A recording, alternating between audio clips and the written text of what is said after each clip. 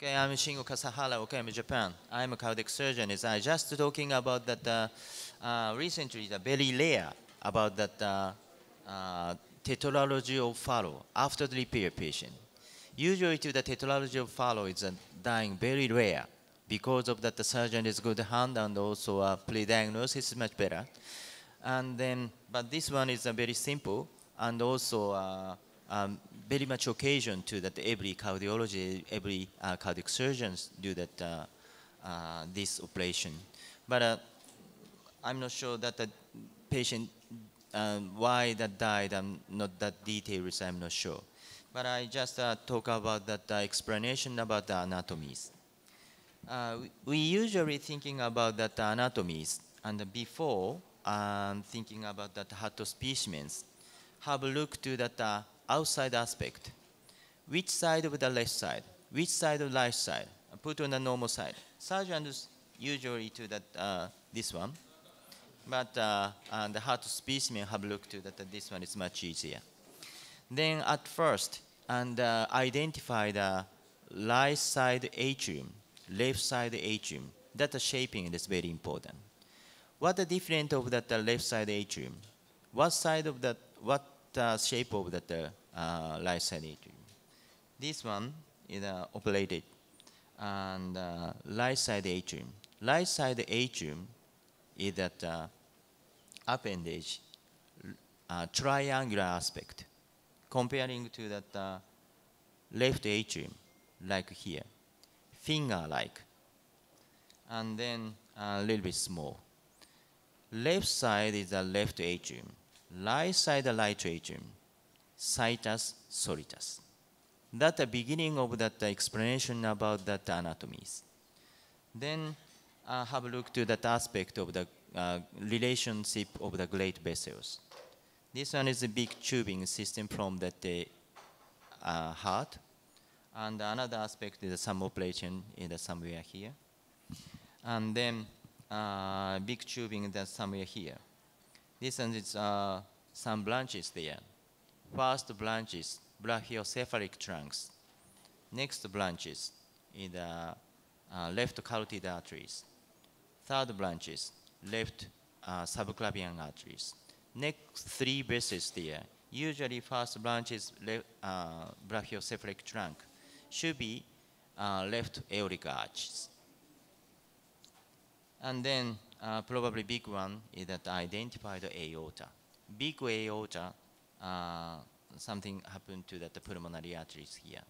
Aorta is that uh, right side, then behind comparing to that the pulmonary arteries.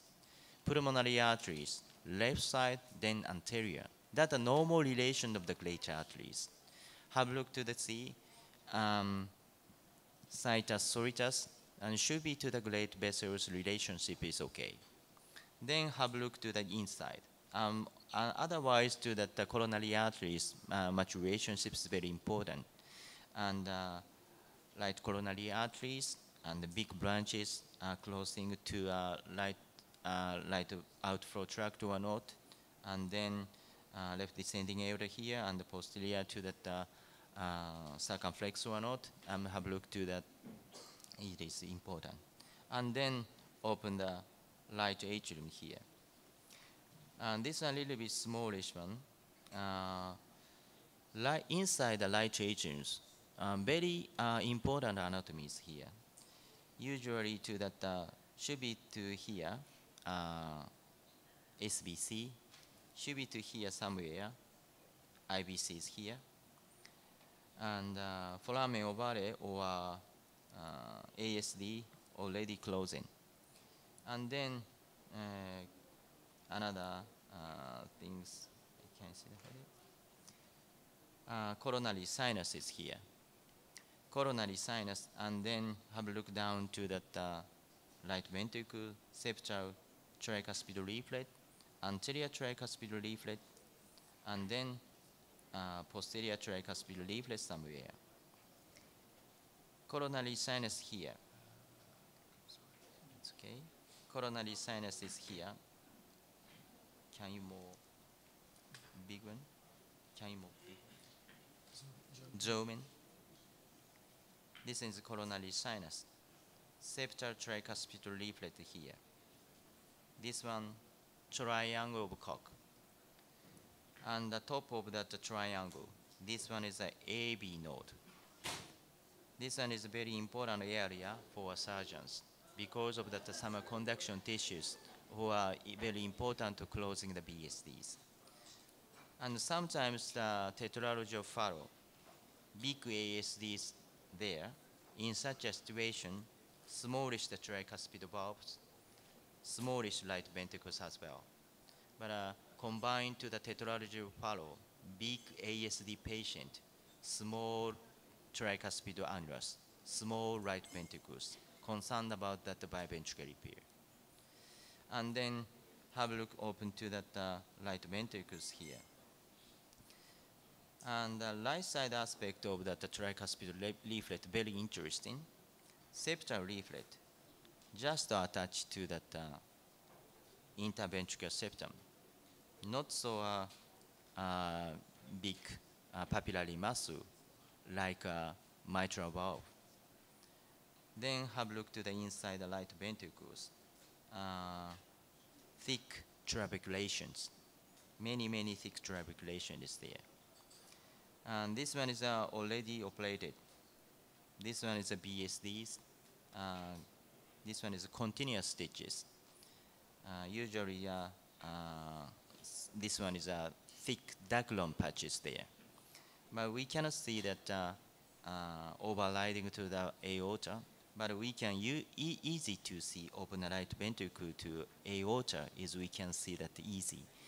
Usually to that the VSD patient, normal VSD patient, we cannot see that uh, aortic valves, but uh, tetralogy Fallot, we usually too can see that uh, uh, aortic valve. That's reason why uh, aorta uh, shifted to that anterior side.